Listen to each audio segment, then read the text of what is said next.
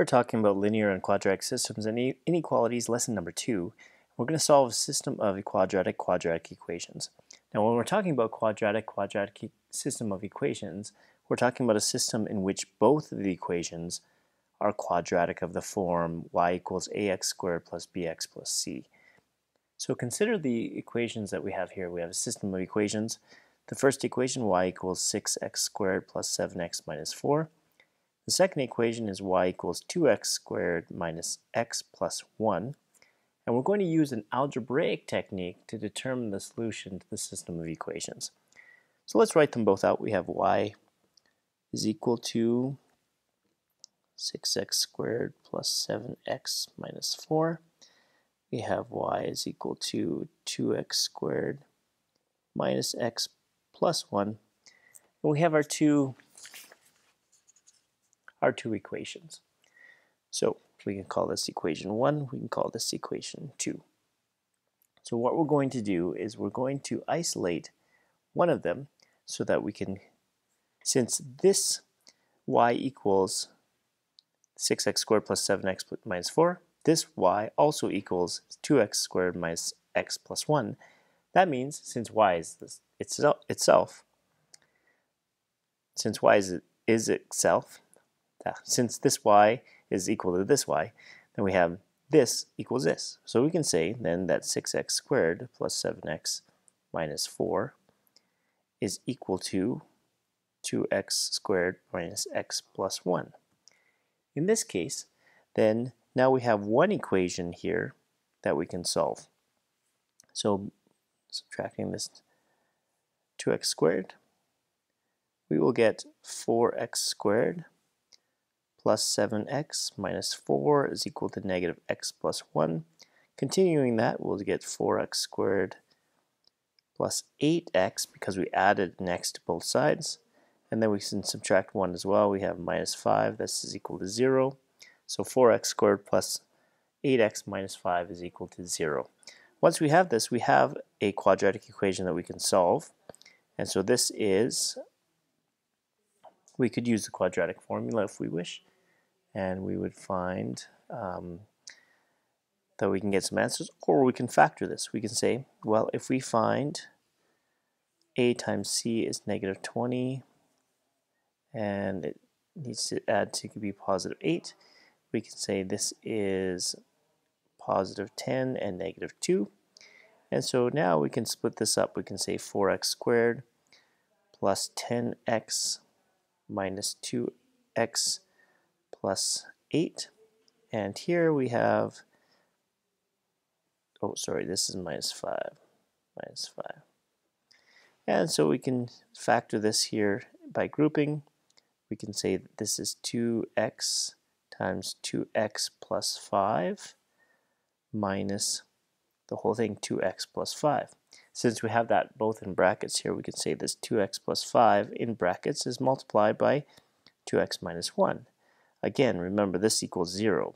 So now that we have it in factored form, we can use the zero product law and say, well, 2x plus 5 can, has to equal 0. So then x will equal negative 5 over 2, or 2x minus 1 equals 0. So 2x minus 1 equals 0 means 2x is equal to positive 1, which means that x is equal to 1 over 2. So we have these two solutions. We have either x equals a half or x equals negative 5 over 2. Now, when we use these values, then we can go back and use either one of these to find the y value.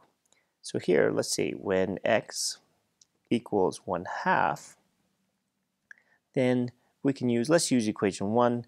We can say that the y value is going to be equal to 6 times 1 half squared plus 7 times 1 half minus 4. This is going to be 6 times 1 quarter plus 7 over 2 minus 4. And we get this is going to be 6 over 4. 6 over 4 plus 7 over 2 minus 4. And let's see, get a common denominator here. 6 over 4 plus 14 over 4 minus 4 this is going to be equal to 20 over 4, that's 5 minus 4, and that's equal to 1. Ah, so we found then that when x is equal to half y is equal to 1, uh, let's see, when x equals when x is equal to negative 5 over 2, we can use the same same concept. I'm going to put a line here just to separate it. So we can say this is going to be 6 x x squared negative 5 over 2 squared plus 7 times negative 5 over 2 minus 4. This is going to be 6 times 25 over 4 plus negative 35 over 2 minus 4. If we continue that right here, we're going to get 6 quarters. That's 150, right? 150 over 4 minus 70 over 4 minus 4. This is going to be 20 minus 4, which is 16. And so we found our solutions then. When we when we look at it, we're going to, going to have these points of 1 half and then 1. And the other one is going to be negative 5 over 2 and 16. All right, we're going to sketch these equations on the graph and use a graphing technique to determine the solution of the system. And we're going to also state an appropriate window here. So what I'm going to do is just grab a graphing calculator and we'll, we'll show how we get that solution. Okay, I have my graphing calculator now. I'm going to put in both of these into my graphing calculator. For y1, I'm going to make this 6x squared plus 7x minus 4. In my y2, I'm going to make this 2x squared minus x plus 1. And then I'm going to graph and see if I can find something here. So I have this weird looking graph. And let's actually do a zoom 6 to get to a standard zoom to see what it looks like. We have that, and we have that. So it looks like there's one up here.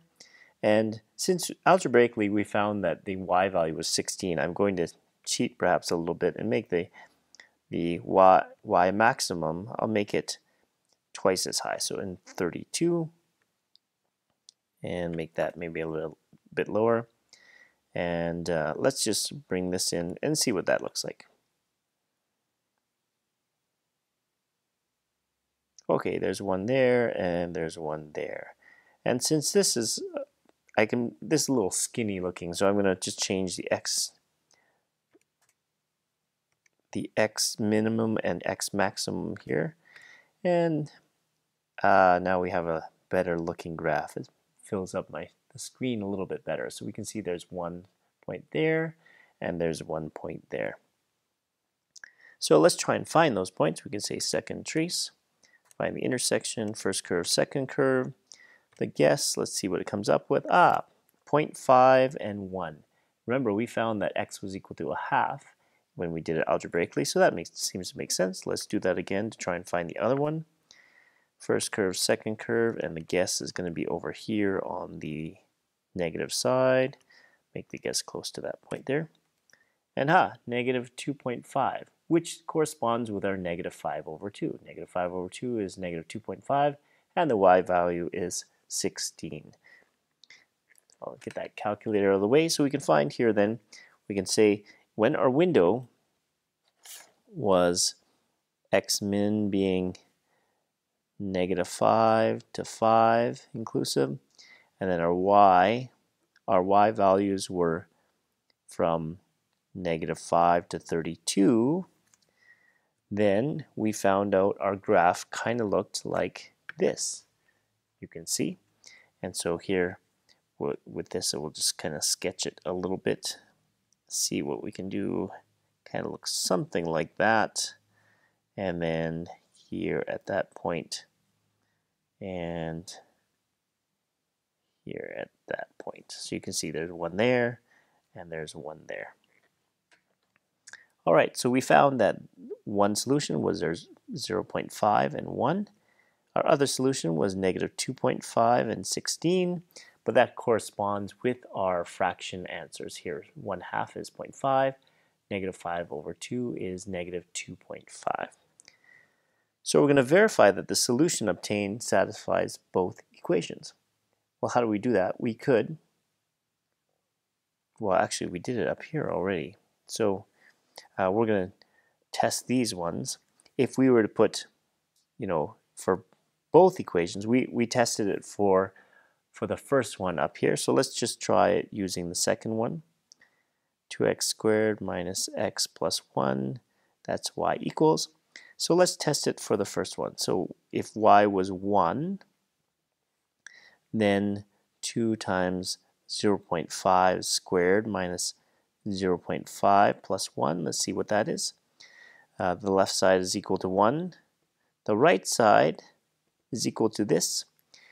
0.5 squared, 0.5 squared is 0.25. 2 times 0.25 is 0.5 minus 0.5 plus 1 it equals 1, and therefore the left side equals the right side.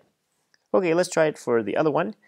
Here we have the left side then is equal to y, which is equal to, in this case, we'll say it's 16. And the right side is equal to our 2 times x squared. And so here we said is negative 2.5 squared minus 2 point, negative 2.5 plus 1. We see that. And then here we have negative 2.5 squared is going to be 2 times 6.25 minus minus, so that's a plus now 2.5 plus 1, and times 6.25 times 2 is 12.5 plus 2.5 plus 1 12.5 plus 2.5 is 15, plus 1 is 16. Hey, yes, the left side equals the right side. And we did that. Uh, we can also do that here for the top one, but you know, trust me, I, I think if we went through it, uh, we did it using just the first equation to get the first one, and now we did it again for the second equation. All right, so you're ready for your assignment. Remember, that there is a couple of ways that you can do these questions. Any of these quadratic quadratic system of equations, or any system of equations for, for that matter, you can use your graphing calculator to give you an idea of what you might find.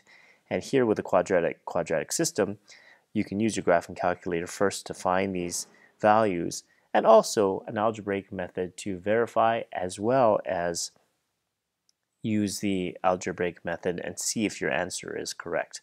Of course, you might verify, but sometimes when there's fractions, um, graphing calculator is very nice to help you to, to zone in on what the, the answer is.